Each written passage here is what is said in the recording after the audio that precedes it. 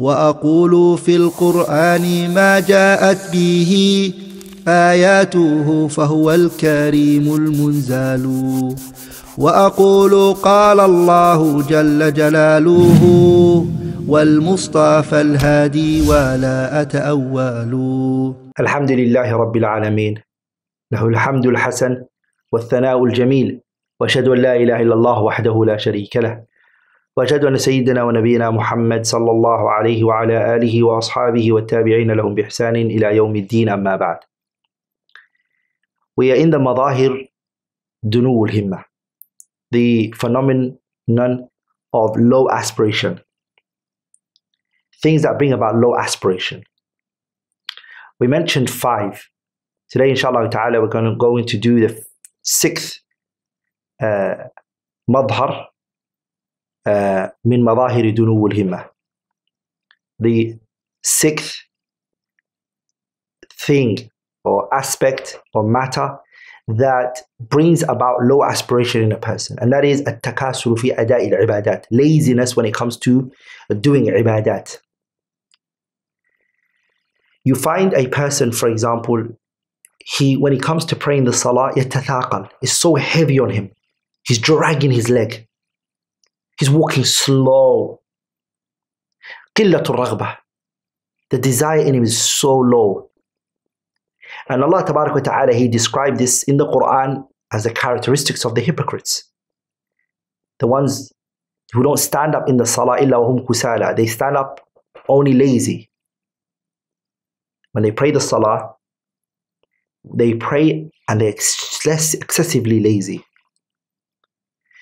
that is totally opposite to what بخلاف المؤمنين الصادقين in opposition to the believers the believers when they stand how do they stand in the salah they stand with بهمة ونشاط ورغبة when they stand in the salah they have passion have enthusiasm they're focused, they're ready, they're going to speak to Allah subhanahu wa ta'ala. This is a dialogue, discussion between them and Allah. قَسَمْتُ الصَّلَاةِ بَيْنِي وَبَيْنَ عَبْدِي نِصْفَيْن I divided the salah between me and my slaves. As Allah Azza wa Jalla said in Hadith al-Qudusi, Abu Hurairah narrated, that Allah Azza wa Jalla said, I divided the salah between me and my slave.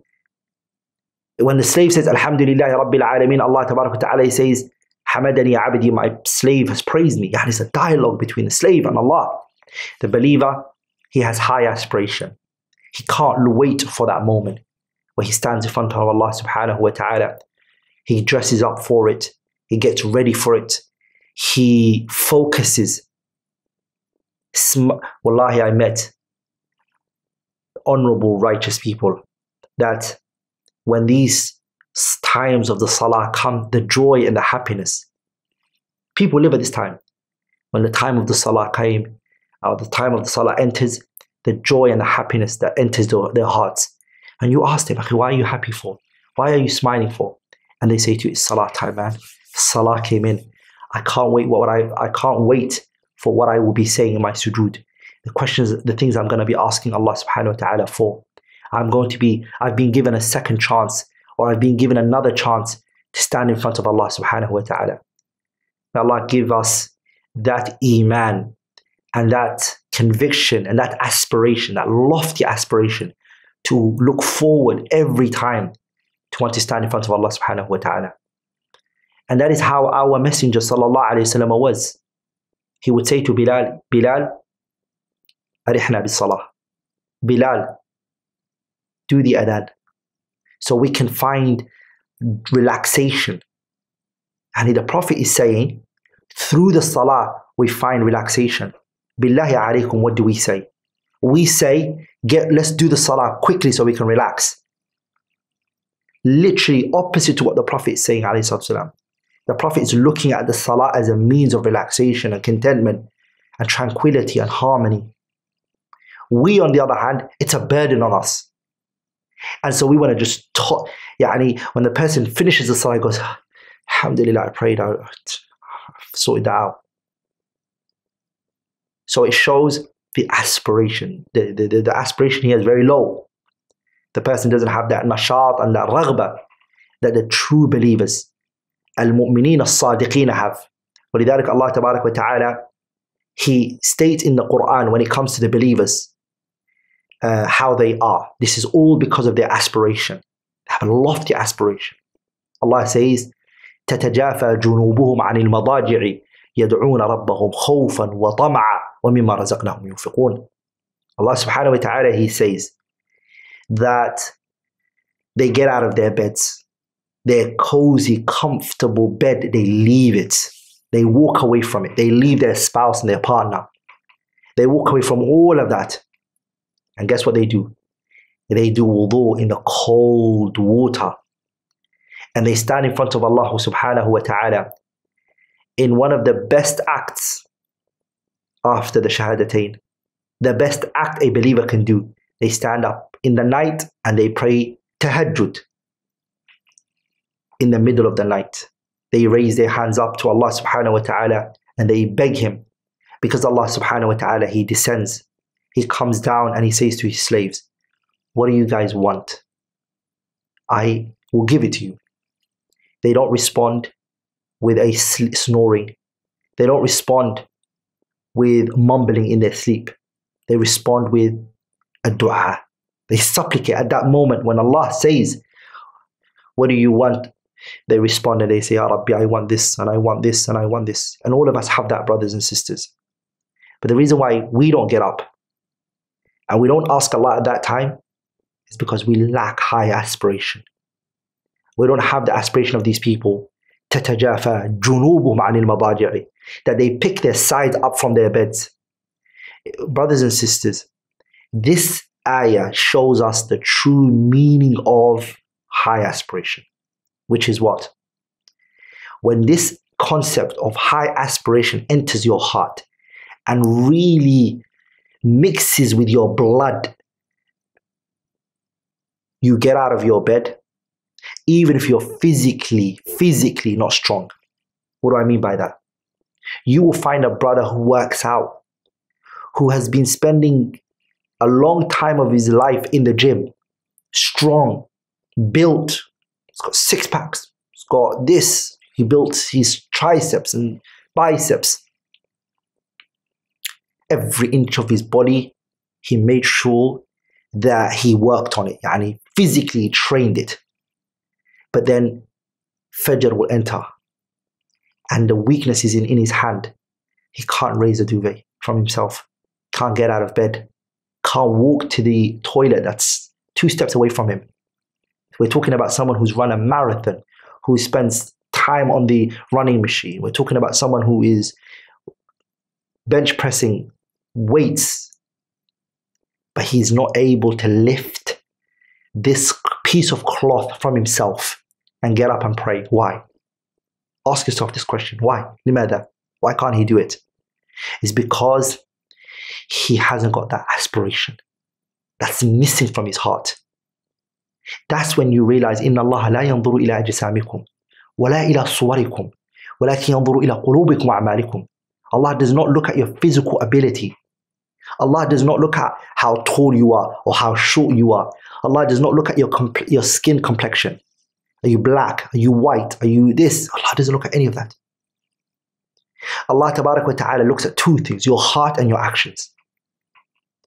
تتجافى جنوبهم عن المضاجع. These people, they get out of their beds, jump out of their beds because they have high aspiration. They, they built their hearts. They strengthened their hearts. They nurtured and cultivated their hearts. They took their hearts to the best gym. They worked out on it, gave it all of the, its requirements, its diet, in everything. Whereas this other person focused on the outer appearance. So he can't get up. He doesn't have that lofty aspiration. He doesn't have that high aspiration. So he, when he wakes up, he's so lazy. It takes him one hour to get out of bed. He sits on the side of the bed and he tucks himself back in again. This person is awake, enthusiastic. As soon as he wakes up, he's got nashat. The first thing that comes out of his mouth when he wakes up is he makes a dua. And all of this, brothers and sisters, is because of al-himmatul aliyah, high aspiration. He's looking at the one he's going to meet, Allah subhanahu wa ta'ala. What's amazing is that the ayah says, تتجافى جنوبهم عن المضاجع يدعون ربهم خوفا وطمعا ومما رزقناهم ينفقون which was bukhl, stinginess. They give their wealth. It's amazing Allah mentioned them together. That they give out their wealth that Allah gave them subhanahu wa ta'ala. In other words, these people, the dunya means nothing to them.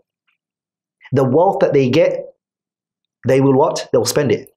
ولذلك the scholars, even the Arab poets, if you look at the Arabic poetry, and you study the Arab poetry, and you go in deep and you, you internalize it, you will find that the Arab poets, they tend to refer to the wealth of the generous person as a wealth that is uh, sad, sad wealth. They call it the sad wealth. And the wealth of the generous man or the generous woman, they refer to that wealth as a depressed, sad wealth. Why? Because the wealth generally likes to stay in a storage. It doesn't like to be moved around. That's what they. This is the, this is the way they say they they they uh, do their poetry. Poetry. The, the the generous man who's wealthy, his wealth is going to be consistently leaving the storage. It's going to be on the move. So the wealth is still, the wealth the wealth is saddened from that because he wants to spend time with an honorable person like that, right? This is how they are. Their aspiration is the akhirah. Their life in this world is physical. They're physically with us. Their minds and their hearts is somewhere else. It's connected to something else. ولذلك a statement, a very powerful statement of Ibn al-Jawzi, he said, rahimahullah, he said, كمال العقل علو الهمة والراضي بالدون دليل. He said, a person whose aql is complete, complete aql, he's really smart. This individual, Allah, he's smart. You can say he has kamalul aql, and his aql is 100%. Is what? When he has high aspiration. Kamalul aqli ulul himma. Is when a person has high aspiration. وَالرَّاضِي بِدُونِ دَنِي And the one who is pleased with the bare minimum. He's like, you know what, I can just give me anything, I don't mind. That's all he takes from this world. He has them. وَالرَّاضِي بِدُونِ دَنِي That person is dim-witted individual. He's not smart. He's not clever at all. Because he's chosen أتستبدلون الذي هو أدنى بالذي هو خير Two choices you were given and you took the, the, the little one when you could have taken the higher one. You're not smart. You're not clever. Clever one is the one who took the higher station. So this is what they are. These individuals, they have that aspiration. They don't have laziness in their ibadah. And wallahi, what's so powerful about these people is that if it happens that they get tired and they don't, um, they uh, they miss their qiyamul layl. What do they do? They bring it back. If they miss their witr, they bring it back. If they miss their rawatib, they bring it back. Whatever they miss, they bring it back. That's the type of people they are. One of the ways that at-takasul, being lazy in ibadat occurs is also in the uh, heedlessness that some people come with when it comes to the Quran and in the remembrance of Allah subhanahu wa ta'ala and repentance and asking for forgiveness and turning back to Allah. You don't tend to find that from them. So lazy, no aspiration, low aspiration. He doesn't recite Quran. Yani how does a Muslim, a day, an entire 24 hour goes by, you've not read nothing from the Quran. You've done no dhikr that entire day. You've not asked Allah for forgiveness that whole entire day. You've not repented that whole entire day. And I'm talking about outside the salah, of course. How does that happen? Is that how low your aspiration has become? Yani we have Nabiullah Muhammad, Muhammad ibn Abdullah, our prophet. He said, Inni atubu fil yawmi mi'ata marrah. Yani the prophet saying this. تخيل brothers, think, ponder here with me. Nabiullah Muhammad, he's forgiven for all his sins, all of his shortcomings. It's he's forgiven. He is Sayyidu waladi Adam. He is saying, I ask Allah for forgiveness every day a hundred times. And here you are, O sinner, here I am, it's the sinner, and an entire day goes by, and we I don't remember Allah. I don't ask for forgiveness. That is the real meaning of low aspiration. That is a true uh, reality of low aspiration. That you haven't asked for forgiveness. When you are the uh, child and the progeny of Adam alayhi salam. And the children of Adam are all sinners, as the Prophet ﷺ told us. All of the children of Adam are sinners. They do sins.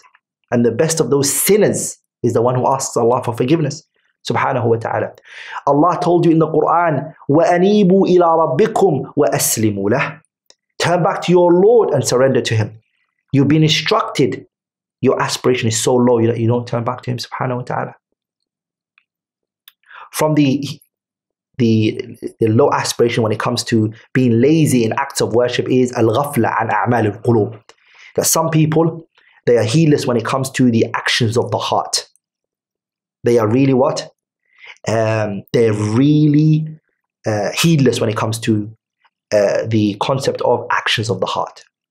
They don't give it weight whatsoever. And in Islam, the actions of the heart are the heart is very important, especially ikhlas, sincerity, tawakkul, hub, loving Allah subhanahu wa ta'ala, relying on Allah subhanahu wa ta'ala, and other than that. These are things that you should have with you. From those things is an infaqu fi sabilillah, giving in the cause of Allah subhanahu wa ta'ala, and I spoke about that. Some people um, will give their wealth in things that are harmful for themselves or harmful to others. They will spend their wealth fi sabil al-fasad in the path of corruption. Wala yubari doesn't care. And then when he's requested, Ya akhi, give wealth for the sake of Allah. Akhi, build a masjid. Stop building this club that you're building. This club is going to only bring you sin, and every single person who drinks from it, you're going to be punished for it Yawm al-Qiyamah. Is it not better that you use your wealth in that which is good for you and hereafter? Build a masjid, build a well, build a shelter home for the, the poor and the orphans. What does he do? قدم رجلا وأخر رجلا. He puts one leg forward and one leg back. He's and then he starts to give excuses. يعني والله أخي my my this and وبدأ يقدم الأعذار تلو الأعذار. he gives one excuse and then another excuse and another excuse. Like in the fasad and the ifsad, he's the forefront of paying his wealth in it. The reason for that, brothers and sisters, is dunul himmah. These are all signs of low aspiration. All of these points that I'm mentioning are all a sign of low aspiration. This individual has low aspiration. Inshallah ta'ala, as I said, the cure is coming. I just want to show you the the ways that and the forms in which low aspiration come, comes. I've mentioned six, and I'm going to stop there, inshallah ta'ala. Anything which I have said that was wrong or incorrect is for me, from me and shaitan, and Allah and His Messenger are both free from it. سبحانك اللهم وبحمدك أشهد أن لا إله إلا الله أستغفرك وأتوب إليه. Assalamu alaikum wa rahmatullahi wa barakatuhu. How can you do a two second action right now that will give you a share of the reward of everything we're doing on this YouTube channel. Simple. Like this video and click subscribe. Why? It will allow YouTube to recommend our videos to other users.